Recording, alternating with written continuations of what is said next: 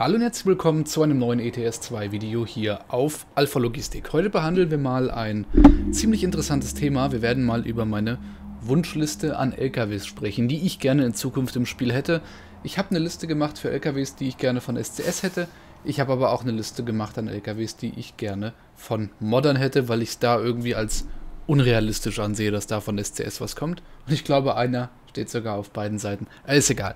Gut, wir werden heute einmal ein bisschen durch Rumänien fahren. Wir stehen jetzt in der Nähe von Bukarest und werden einmal vorbei an Petesti bis hoch nach Sibiu fahren.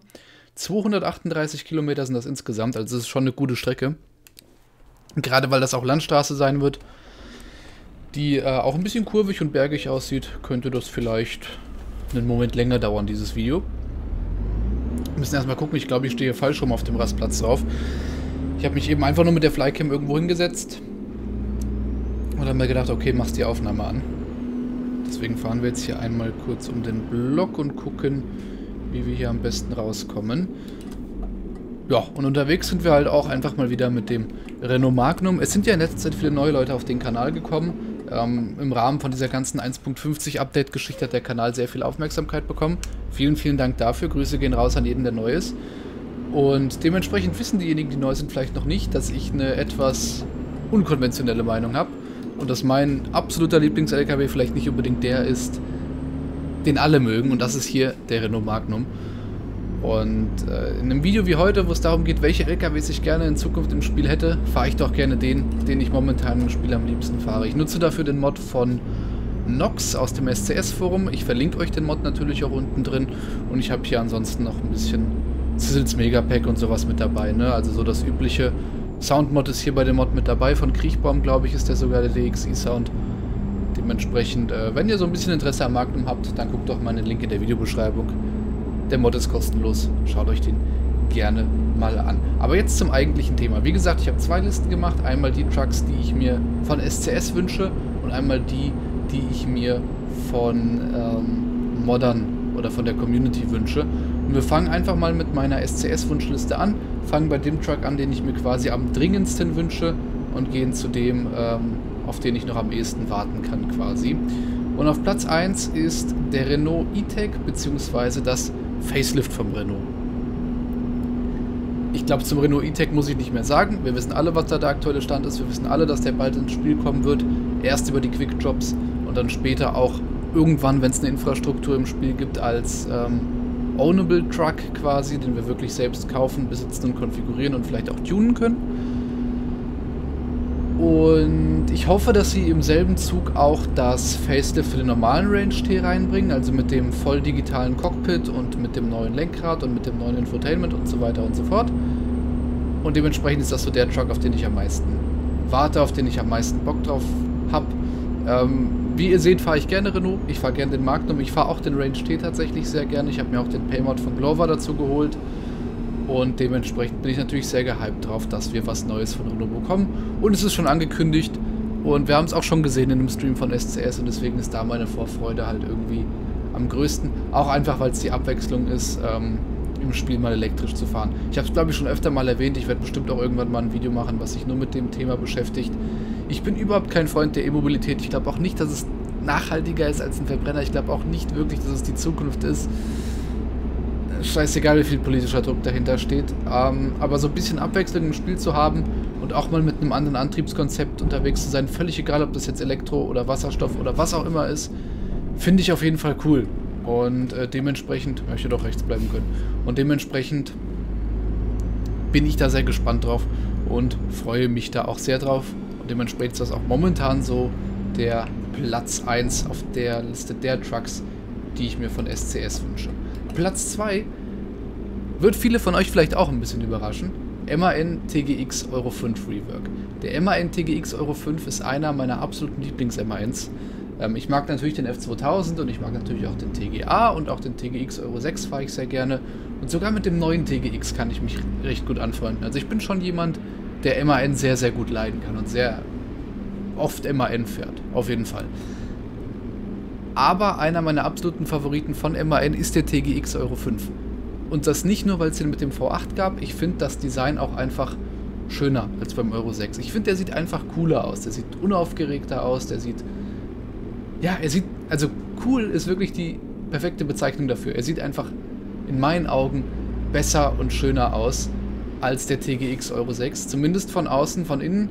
Ja, ist er natürlich nicht ganz so modern wie der Euro 6er, das ist klar. Aber ich finde, ähm, von innen ist er ein perfekter Mix aus Old School und New School. Er hat ein kleines digitales Display, er hat aber noch einen analogen Tacho, er hat ein Navi verbaut, er hat aber noch kein riesiges Infotainment. Also ich finde, der TGX Euro 5 ist irgendwie so ein sehr, sehr guter Mix aus den zwei Welten. Der Euro 6er aber natürlich auch. Aber den Euro 5er präferiere ich tatsächlich noch ein bisschen. Und äh, der V8 kommt dann natürlich noch dazu. Ist klar, denn gab es mit V8 und es ist nicht der Scania V8, das ist ein eigener MAN V8, den sie irgendwie gefühlt eigens dafür entwickelt haben, nur um zu beweisen, was sie können. So nach dem Motto. Und ich fände es wirklich schön, wenn wir diesen Truck in einer guten Qualität ins Spiel kriegen würden. Weil wir haben den ja von SCS im Spiel und vielleicht werde ich sogar irgendwann nochmal ein eigenes Video über diesen Truck machen, wo wir die SCS-Variante fahren.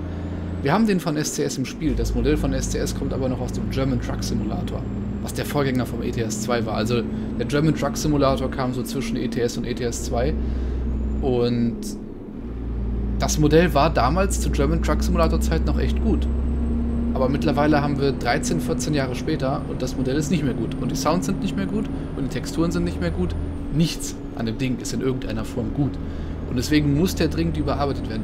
Und im Gegensatz zu vielen anderen Trucks, die auf dieser Liste noch kommen werden, gibt es für diesen Truck keinen guten Mod in der Community. Es gab mal einen, es gab mal den TGX Euro 5 von Mazda, ähm, aber erstens ist auch der schon in die Jahre gekommen und zweitens wird auch der von Mazda offiziell nicht mehr geupdatet. Wenn man Glück hat, updatet dann jemand anders aus der Community, aber dann kommen manchmal irgendwelche komischen Sachen rein, wie dass der plötzlich einen Mercedes-Motorsound hat oder man den Blinker nicht mehr sieht. Also da haben wir schon einiges erlebt, habe ich auch schon Videos drüber gemacht. Dementsprechend, bitte, bitte SCS. MAN TGX Euro 5 Rework. Ich zahle euch, was ihr wollt dafür, aber das muss einfach sein. Ist ein geiler Truck und ich möchte ihn auch wieder im ETS 2 genießen können. Dann auf Platz 3 habe ich das Volvo FH4 Rework. Und jetzt werden sicherlich viele von euch fragen, warum hast du das Volvo FH4 Rework vor dem Volvo FH5? Der kommt nämlich gleich als nächstes auf der Liste. Ähm, ganz einfach. Ich finde den FH4 cooler als den FH5. Es ist genau das, was ich eben beim MAN schon gesagt habe. Er hat, finde ich, den perfekten Mix aus digital und analog im Innenraum. Er sieht optisch, finde ich, noch ein bisschen entspannter und ruhiger und cooler aus, ohne wirklich veraltet zu wirken. Da habe ich ja auch vor ein, zwei Monaten mal ein Video drüber gemacht. Was, der ist schon über zehn Jahre alt, aber ja, tatsächlich. Und ich finde, es ist zwar nicht der Truck von SCS, der qualitativ am schlechtesten umgesetzt ist. Da gibt es wirklich schlimmere, wie zum Beispiel den TGX Euro 5 oder den Actros MP3. Aber nichtsdestotrotz, ein Rework von dem Ding würde ich sehr, sehr feiern. Auch weil das eine LKW war, als er damals neu ins Spiel kam. Der war ja auch nicht von Anfang an dabei, sondern wurde nachträglich ins Spiel gebracht. Bin ich den ohne Ende gefahren. Ich habe den total gehypt. Ich war total gehypt damals, weil der auch in der Realität noch sehr neu war, von diesem neuen Volvo-Design, von diesem total futuristischen, oder für mich wirkte es damals futuristisch, futuristischen Design und Innenraum und so weiter und so fort. Und dementsprechend verbinde ich mit dem Truck auch viel und würde mich sehr, sehr freuen, wenn wir von denen tatsächlich irgendwann mal ein Rework bekommen. Und SCS hat ja in ihrem letzten Weihnachtsstream auch tatsächlich angekündigt und auch schon Fotos gezeigt, dass sie da an einem Rework arbeiten. Und ich hoffe, dass da dieses Jahr was kommt. Vielleicht ja zusammen mit dem nächsten Truck auf der Liste, ich habe es eben schon vorweggenommen, mit dem Volvo FH5. Klar, Volvo FH5, neues Modell. Es gibt einen Mod, der ist performancefressend. Es gibt einen Mod, der ist weniger performancefressend. Alles schön und gut. Aber ich möchte das Ding von STS offiziell im Spiel haben. Ich bin nämlich momentan tatsächlich so ein bisschen auf dem Trip. Ich will gar nicht mehr so viele Mods installieren. Und jedes Mal, wenn ein neues Update vom Spiel rauskommt, ärgere ich mich, weil ich warten muss, bis die Mods aktualisiert werden und und und.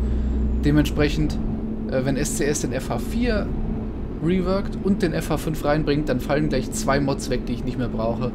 Und ich denke mal, die Qualität vom Vehicles Department von SCS ist mittlerweile so gut, dass wir auch wirklich sagen können, ja, okay, ähm,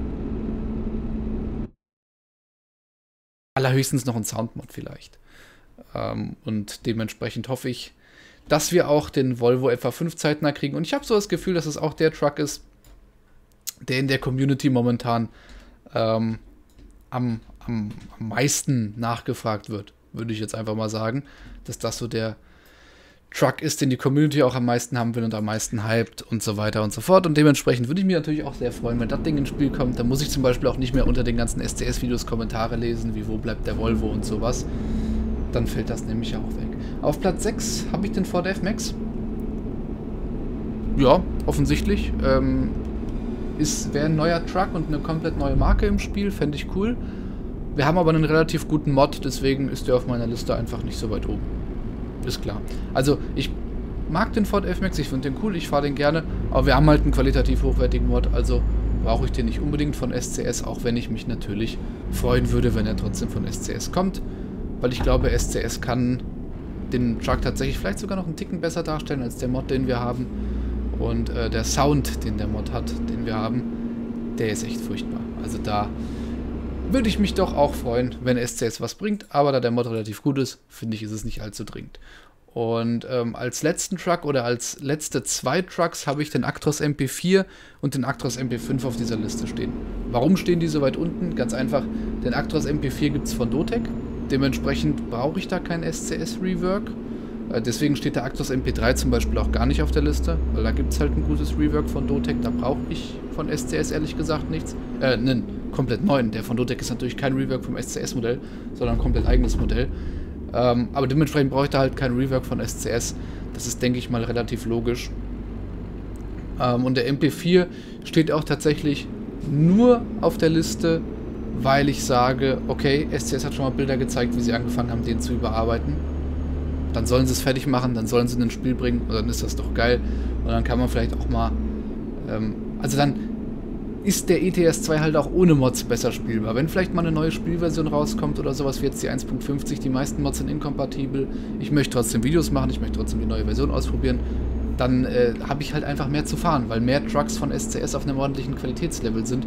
Und das kann auf jeden Fall nicht schaden. Der MP5 steht im Prinzip aus demselben Grund so weit unten. Wir haben einen qualitativ würde ich schon sagen, echt guten Mod. Ähm, von Volley aus dem SCS-Forum, beziehungsweise von der Actros 5 Crew. Und dementsprechend brauche ich den von SCS eigentlich nicht. Man könnte halt nur argumentieren, okay, der Mod, den es da gibt, der ist schon ein bisschen performancefressend. Dementsprechend wäre es vielleicht nicht verkehrt, dass auch für die Leute mit schwächeren Rechnern da vielleicht einfach die Version von SCS kommt, dass man sagt, okay, passt. Gut, das war meine Wunschliste von Trucks, die ich gerne von SCS Software hätte. Jetzt kommen wir aber zu meiner Wunschliste an Trucks, die ich gerne vielleicht in den nächsten Jahren mal als Mods von der Community sehen würde. Auf Platz 1 ältere Generation von Renault Magnum. Ich habe es ja eben schon angeschnitten. Renault Magnum, einer meiner absoluten Lieblingstrucks oder sogar der absolute Lieblingstruck von mir. Und ich mag hier diese letzte Generation. Übrigens entschuldigt gerade die Lex, ich habe keine Ahnung, was da los ist. Ich lade im Hintergrund ein Video hoch, das könnte vielleicht ein bisschen, äh, bisschen dafür verantwortlich sein. Wir fahren jetzt hier aber die aktuell die neueste Generation von Magnum. Also die, die aktuellste, die letzte, die von, ich glaube, 2008 bis 2012, 13 so um den Dreh gebaut wurde, bis halt Euro 6 kam. Und der ist cool. Das ist schon auch eine meiner liebsten Magnum-Generationen. Die davor, also die, die direkt davor kam, die mag ich nicht so zum Beispiel. Eine, die ich aber mehr mag, ist natürlich die, die in den 90er Jahren angeboten wurde, mit dem Mac V8. Und auch dieses alte Armaturenbrett, was es ganz am Anfang gab, ähm, was, was einfach nur so flach vor dir da lag, das finde ich auch total cool. Und es gibt da halt einfach qualitativ keine guten Mods momentan. Es gibt zwar einen Paymod von irgendeinem Russen, ich glaube Nikola heißt der, der schon unzählige Male geleakt worden ist und den ich dadurch auch unzählige Male gefahren bin. Der ist qualitativ halbwegs okay, aber ganz ehrlich, nee, und dementsprechend, wenn sich da irgendjemand, irgendein Modder irgendwann mal hinsetzen würde und das Ding in einer guten Qualität rausbringt, von mir aus auch als Paymod, wäre schon cool. Würde ich schon sehr, sehr feiern, muss ich sagen. Und das wäre was, was ich sehr, sehr gerne hätte. Auf Platz 2, ähm, der einzige Truck, der glaube ich auf beiden Listen vertreten ist, der MAN TGX Euro 5. Und daran merkt ihr glaube ich auch, wie eilig ich es mit dem habe. Ich habe nämlich wie gesagt, sehr viel Bock drauf, brauche ich nicht weiter auszuführen. Und ob jetzt SCS ein Rework davon bringt oder irgendein Modder hingeht und sagt, yo, ich mache den jetzt in gut, das ist mir eigentlich auch schon egal. Und auch da, äh, ganz ehrlich, wenn es ein Paymod wäre, würde ich dafür bezahlen. Ganz im Ernst. Ich habe so viel Bock auf den Truck, das, da muss einfach mal was passieren. Auf Platz 3 habe ich den Mercedes Actros MP1. Ähm, Dotec baut da ja schon dran, wird irgendwann kommen, wird dauern, aber irgendwann wird es soweit sein. Gut Ding will Weile haben. Klar, wir hatten schon mal einen MP1-Mod, den fahre ich auch noch hin und wieder in Videos, den habe ich auch noch irgendwo auf der Festplatte. Aber man muss auch einfach mal ganz ehrlich sein und sagen, der ist nicht mehr zeitgemäß. Der war damals, als der neu rauskam, 2000, keine Ahnung, 14, 15 gefühlt, also im Prinzip vor 10 Jahren, da war der okay. Da war das ein Mod, wo man sagen konnte, ja, da kann ich mitarbeiten, den kann ich fahren. Oh, wir haben hier einen Bypass. Nehmen wir doch den Bypass, fahren wir nicht durch den Kreisel. Ähm, aber heutzutage ist der einfach nicht mehr State of the Art. Und heutzutage bräuchten wir einfach mal einen neuen, guten Actros MP1-Mod. Und ich bin sehr, sehr froh, dass Dotec daran arbeitet. Und ich glaube, wenn da noch niemand dran arbeiten würde und ich nicht wüsste, dass da was kommt, dann würde der noch weiter oben auf meiner Liste stehen. Gut, ähm, kurz hinterm MP1 ein weiterer Truck aus derselben Ära, Volvo FH1. Haben wir auch ab und zu mal irgendwelche Paymods, die geleakt werden oder sonst irgendwas. Und früher gab es den, glaube ich, auch mal als, als Free-Mod ähm, aber in einer bescheidenen Qualität. Volvo FH1 ist so ein Ding, will ich haben. Ist meine Lieblings-FH-Generation, finde ich cooler als den FH2, wobei der als Mod auch cool wäre, da gibt es glaube ich auch nichts. Und finde ich auch cooler als FH3, da haben wir ja Gott sei Dank einen guten Mod inzwischen. Und ich brauche das Ding einfach. Ich bin ein riesengroßer Fan der Trucks aus der Zeit, auch MAN F2000 und, und der alte Magnum und der MP1 und so weiter und so fort. Mercedes SK natürlich da habe ich einfach, da habe ich einfach Bock drauf. Ich fand die 90er Jahre, was LKWs angeht, mega cool. Und dementsprechend hätte ich auch irgendwann mal gerne einen Volvo FH1. Die letzten zwei Punkte auf der Liste frühstücken wir schnell ab. Ich hätte gerne einen Renault Premium in der alten Generation. Wir haben ja den, die letzte Premium-Generation quasi im Spiel. Und wir haben auch ein Rework davon von Schumi und das ist alles fein. Aber auch da gibt es wie bei Magnum ältere Generationen, die ich persönlich auch ziemlich cool finde, von denen ich gerne einen qualitativ guten Mod hätte.